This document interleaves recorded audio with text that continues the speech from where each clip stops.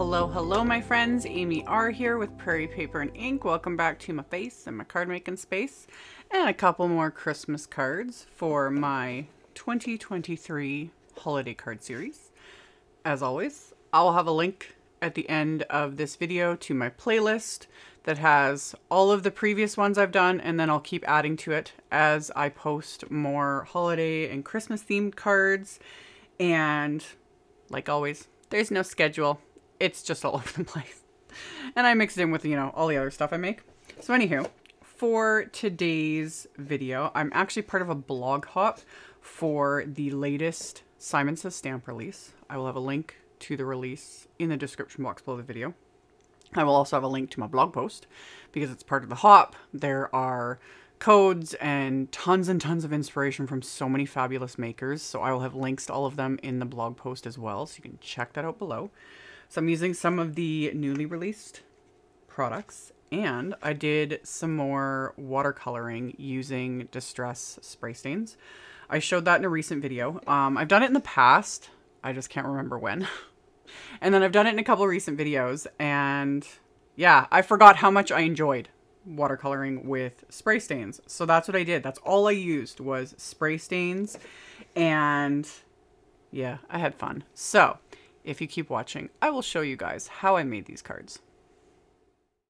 So I don't think it's any surprise that I went for the Holiday Blossoms stamp set in this release as my first creations. Um, large florals, need I say more?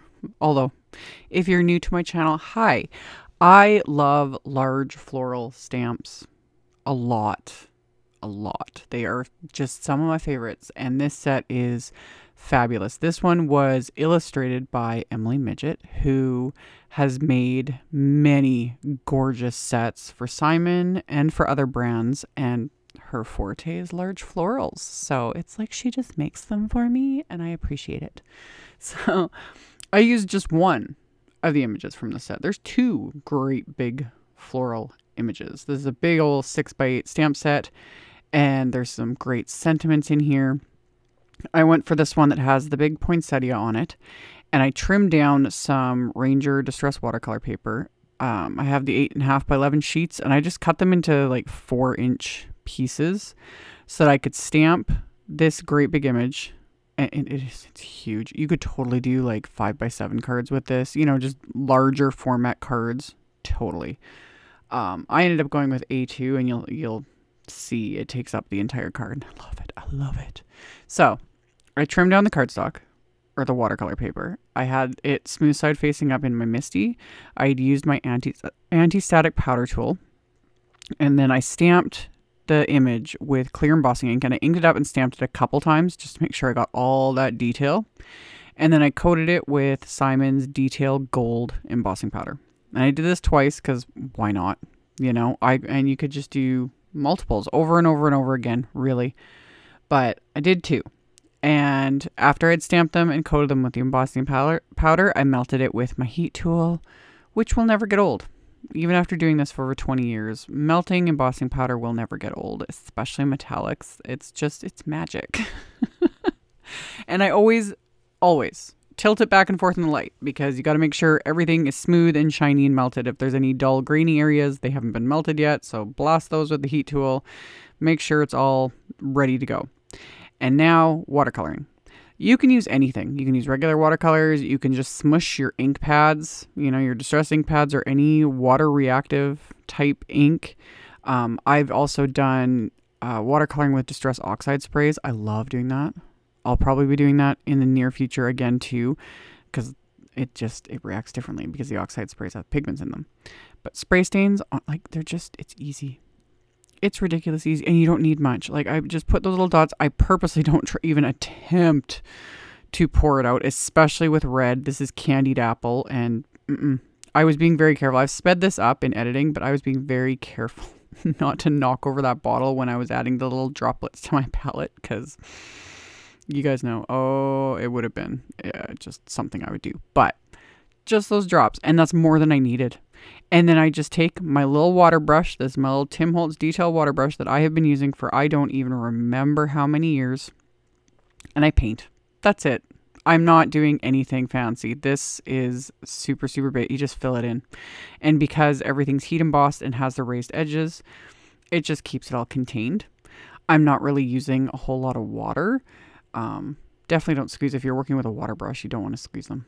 Don't squeeze them. The only times I squeeze my water brush is when I have a cloth off to the side and when I'm like wiping it off in between colors, that sort of a thing. But yeah. So now the only like sort of mixing I'm going to do is for the greenery. And I am using my just go to favorite, which is Twisted Citron and Rustic Wilderness. Again, distress spray stains. So I put those onto my palette. And I don't know what it is. They're just something about that really bright, you know, citrus green of the t- Twisted Citron and then that really deep, intense Rustic Wilderness. I just, I love the combo together. And I've shown this in a bajillion videos using all different distress products, you know, but these two colors mixed together for greenery. Love it. So I did that for sort of the main um, the, that great big leaf, and then a couple of the other ones. And then to mix it up a little bit, the third Distress Spray Stain Green I added was uh, pine needles. Because, you know, there's some little pine needles. And I just kind of painted those, even though they're just lines and heat embossed. You can just kind of leave them. But I painted that around those little pine needle images. And then I mixed the twisted citron and the pine needles together for the remaining greenery just to give it a little extra something. Um, because yeah, pine needles has more of like that blue undertone to it, and oh, so pretty, so pretty. I say this about every distress color, honestly. It's so beautiful. I love it, and it's true. I do. So anywho, I just kept going along and painting in.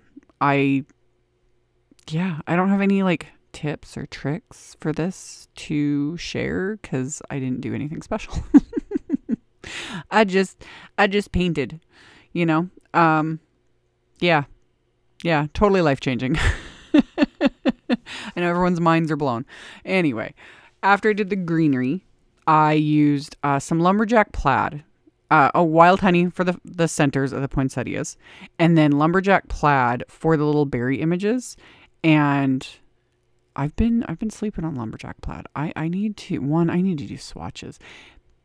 I I'm pretty sure this like at least with the spray stain, it is a lot more of like a burgundy shade than I was given this one credit for.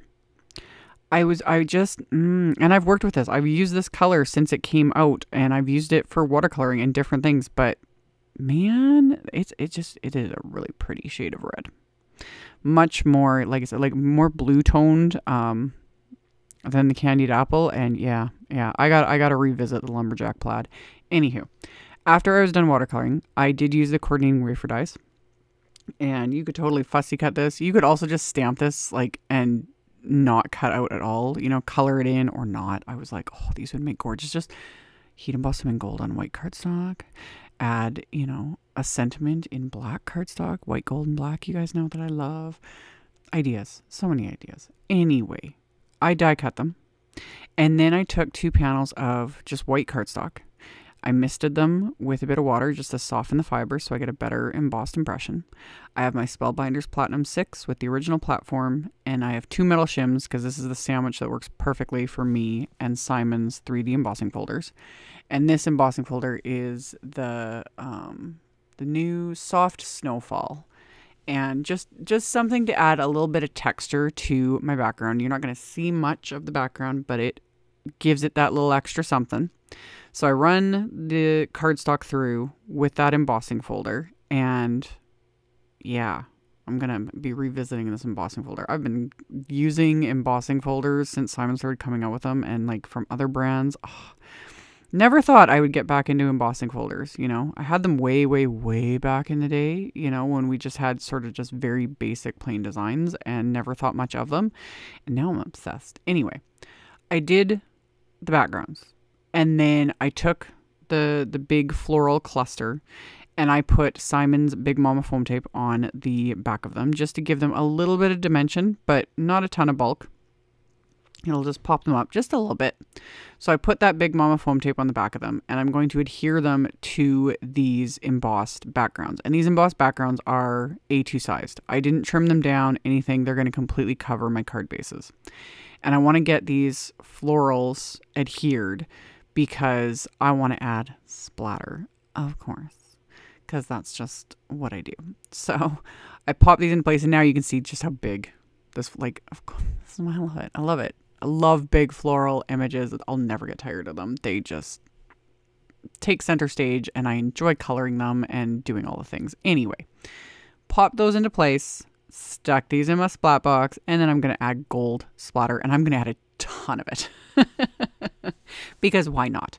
So my Gansai Tambi Starry Colors, the gold one, of course, and I had um, already added water to it, swirled it up really good, and then I pulled out my little fan brush and just went to town and heavily splattered these because it just can't have too much gold, can't have too much splatter. Love it. It just gives it that extra something. So yeah, I I went hard on the splatter, I just love the texture it adds and the shine and all the beautiful things. So set those aside. My card bases are going to be top folding A2 white note cards. And I put those into my MISTI. And I took one of my uh, much used, much loved pieces of uh, post it tape because I, and I've talked about this, I just keep them stuck to um, my little Empress mini die cut machine that's right beside me. I just, I'll keep reusing those things until they're fully saturated or, you know, there's no stick left on them. And I also had a piece of copy paper in here because I inked up the big floral image with um, Concord and Ninth. Was it Buttercup? Honeycomb, honeycomb ink. And I didn't want to stamp it like full strength on the inside of my cards, although you kind of could with this shade of yellow, but I just wanted it to be very soft. So stamping it on the copy paper first just took the intensity of the ink and then I get the second generation which is very very light. In fact really hard to see on camera but it's there. So you know I've got just that detail of the image. And then I lined up the insides of the cards a second. I'm just in the corner just to keep it in one spot just in case I needed to restamp it but the sentiment stamped just fine. And I used one of the sentiments from the stamp set and I'm stamping that with Concord and Ninth cranberry ink so stamp that onto the inside of both of these card bases. Once I've got that stamped into place, um, my insides are done because you gotta have something on the inside. And then for the front of the card, I'm using the All the Joy um, wafer dies. This does come with an outline wafer die as well, but I didn't use that. I used just the, the one for the words. And I die cut some scraps of white cardstock with that wafer die. And the top layer is going to be um, glitter cardstock. That's Simon's Crimson glitter cardstock. And I want this kind of hanging off the floral image. So before I adhere it to the glitter like topper, I trimmed off all the bottom portions of this. This is easier than me trimming itty bitty teeny pieces of foam tape. I love when I see other makers do it because it literally makes their sentiments look like they're floating and I think it looks fabulous and I love it. And it always stops me. And I'm like, man, how did they do that? And it's like, oh, they trimmed just slivers, you know, foam tape. And oh, I appreciate that. it's like you you did the work. I don't have the patience. I just don't. So I do it like this. So I just adhere those two pieces, cut off the parts that are going to go over top of the floral image and then adhered that to the back of the glitter die cut piece and then adhered it in place. So it's got the dimension, it's popped up a bit, and I don't have to sit and fiddle with foam tape. Although probably in the end it would be the similar amount of time. So yeah, do whatever works for you. so after I adhered my sentiments into place, I then adhered these card fronts to the card bases. And like I said, they completely cover the card base. And once I get these um, adhered into place, there's a little bits that kind of hang off the edge, which you could leave. You would just need to put it in a bigger envelope but I'm just going to trim them off. So I'm just going to flip these card fronts over and trim the, the little parts of the floral image that hang off the edges so that these will fit in standard like A2 envelopes. And once I've got these trimmed off, of course, I'm going to add some coordinating bling. And that just happens to be the the Pinkfresh uh, Ruby glitter drops that I've used in a bunch of recent videos. So I put just a few of these on the card. Didn't need many, You know, the floral is like the focus of the whole thing. So I just put a few of these, and once I was happy with the placement, I'm going to adhere them into place with dabs of craft tacky glue. Once these are adhered, these cards are complete. So like I mentioned in the intro, I will have a link below the video to my blog post, definitely worth checking out because there is a coupon code and giveaways and links to all of the other fabulous makers. I will, of course, also have um, my supply list. That'll be linked directly below the video, the list of everything I used and links to all of it.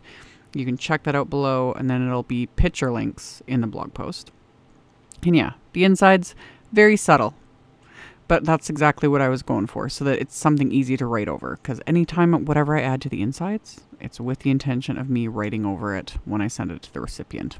So, anywho, all that info will be below. I'll have a link to my um, holiday card series playlist at the end of the video in the end screen if you want to check that out. Thank you all so very much for taking the time to watch my videos, for thumbs upping, for commenting. Subscribe if you haven't, I'd love to have you. And I will see you all very soon in the next one. Bye.